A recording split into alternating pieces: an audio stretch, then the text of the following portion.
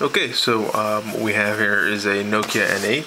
Um, it's supposed to be an orange version. Just came in the mail. Um, let's open it up and see what we got. First off, as you notice, the box is very tiny, very slim. Uh, definitely a changeover from what Nokia boxes used to be. Very, very simple. Sort of a throwback the old ones. And here she is, uh, the N8. And the phone itself, pretty straightforward. Um, the orange is actually a nice color orange uh, on the plastic and on the metal. I'm actually pretty surprised. Uh, because in all the other pictures sort of seemed uh, kind of odd. Instructions, how to open the SIM card slot and such comes with uh, micro USB to USB for the uh, USB on the go, uh, HDMI to mini HDMI, USB cable with a male plug to shove into the computer, tiny charger, instruction booklets, and pair of headphones. So really not much um, to the, the box itself. Let's have a look at the hardware. Um, solitary button, uh, I presume it'll be home screen and such. Um, a double, uh, you know, two-stage um, camera button, slide uh, lock as usual on the Nokia's, volume up and down power, 3.5 millimeter jack, and sorry for the shot of my ACDC pants.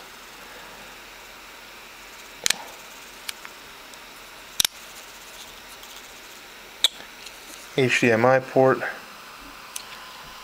Anything else on here? Uh, USB port, nothing on the bottom.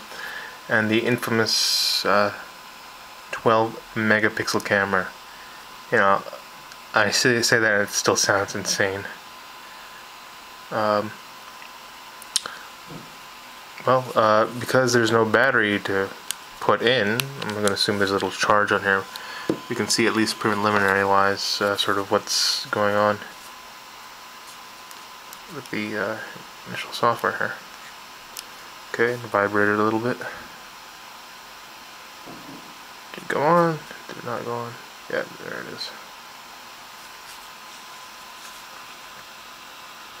I still have all the stickers on it, so it may look a little duller than it should be. Um, overall, I'll be honest, the hardware feels pretty good. Um, hefty, but not not overweight for something of its size and uh, and its materials. Definitely feels premium though. Um, I'll tell you that. Definitely looks the part. Okay, hello. Thank you for choosing Nokia.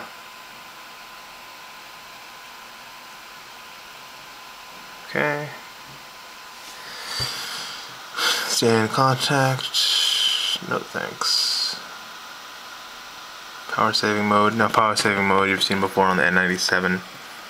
Uh, the Mini and uh, um, the N900. And it actually, um, also other phones, I think N79 had it as well.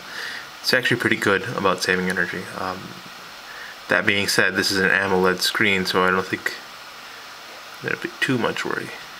Where's the USA? There we go.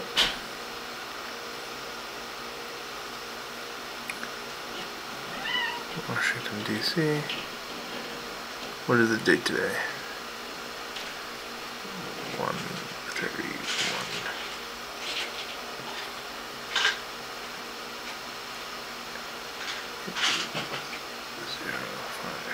7 p.m. Um, okay. So that seems to be the basics. I have yet to get this thing updated. Um, I'll play around, play around with it for a few days, add some software, download some applications as usual, uh, check everything out. If there's something specific that you want to see about the phone, tell me, leave a comment, uh, send a message, whatever, and I'll get to it. Or if there's a specific application you want to see. Um, otherwise, the phone is seems pretty straightforward.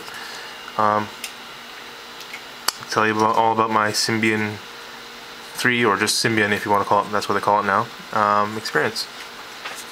Uh, drop a note and tell me what you want to see exactly, okay? Thanks.